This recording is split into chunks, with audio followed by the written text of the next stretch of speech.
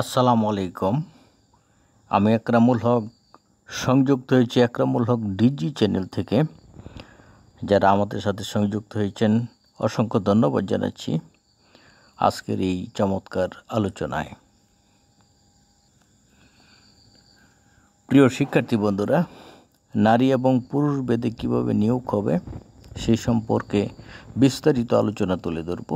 আশা করছি আপনারা এই ভিডিওটির শেষ পর্যন্ত আমাদের সঙ্গেই থাকবেন।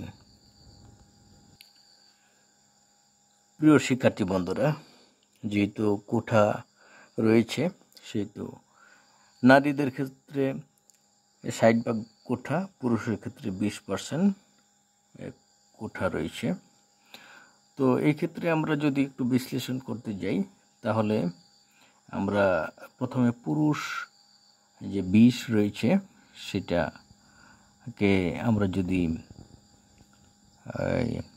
একটা অংশ ধরে নিই, তাহলে এই বিষ দিয়ে সাইডকে যদি বাগ করতে যাই, তাহলে কি হয়? এখানে তিন অংশ হয় আর পুরুষ হচ্ছে এক অংশ। অর্থাৎ নারী তিন অংশ, পুরুষ এক অংশ।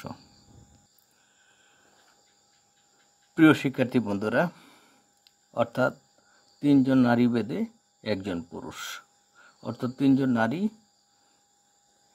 যদি নিয়োগপ্রাপ্ত হয়, তাহলে একজন পুরুষ হবে পাশাপাশি। এখন আমরা চলে যাচ্ছি পোষ্য কোটায় এখন এই পোষ্য কোটাটা নারী এবং পুরুষ বেদে সেম হবে। এখন আমরা একটা অংশ নিয়ে নিয়ে আসলাম নারীর ক্ষেত্রে এবং পুরুষের ক্ষেত্রেও একটি অংশ নিয়ে আসলাম। অর্থাৎ এটি সেম হবে ডিফারেন্ট হবে না সেম ওয়েতে হবে। পুরুষকুটা এটি একটি অংশ নিয়ে আসলাম নারীর ক্ষেত্রে, একটি অংশ পুরুষের ক্ষেত্রে চলে গেল। খুব সহজ, শেষ পর্যায়ে আপনারা বুঝতে পারবেন কতটা সহজভাবে আমরা তুলে ধরেছি। প্রিয় শিক্ষার্থী বন্ধুরা, আমরা পুরুষের একটি অংশ নারীর ক্ষেত্রে নিয়ে আসলাম এবং একটি অংশ পুরুষের ক্ষেত্রে নিয়ে আসলাম। অর্থাৎ অর্থাৎ এইখানেও কিন্তু সেম ওয়েতে হয়েছে।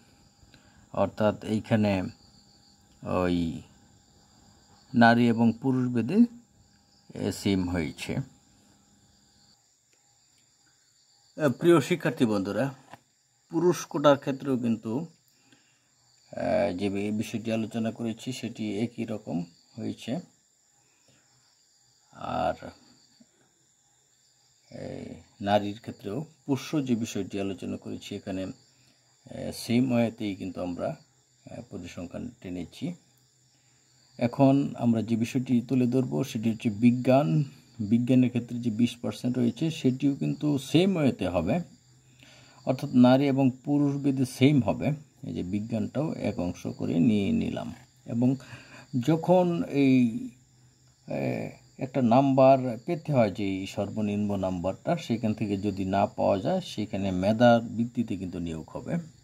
সেখানে মেধার ভিত্তিতে নিয়োগ হবে এবং সেই মেধা অনুযায়ী যে নিয়োগ হয়, সেই ক্ষেত্রে কিন্তু যে বিষয়টা করবে সেইখানেও নারী এবং পুরুষ বেদে সেম হবে। এখানেও একটি অংশ নিয়ে আসলাম এবং এইখানেও একটি অংশ নিয়ে আসলাম। এখন আমরা যোগ টানতেছি।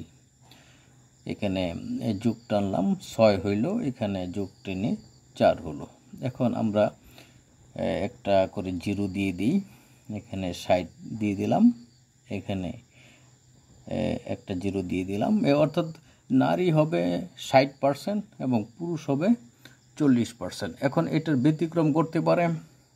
অর্থাৎ যে সংখ্যাটা নেওয়া হবে সেটি ষাট এবং চল্লিশ এর কিছুটা ব্যতিক্রম করতে পারে।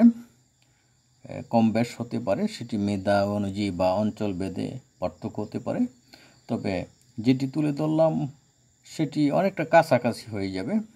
সবাইকে ধন্যবাদ জানিয়ে বিদায় নিচ্ছি। আসসালামু আলাইকুম।